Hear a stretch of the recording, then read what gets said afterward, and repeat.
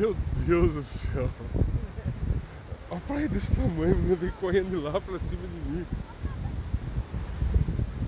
É inacreditável o negócio desse.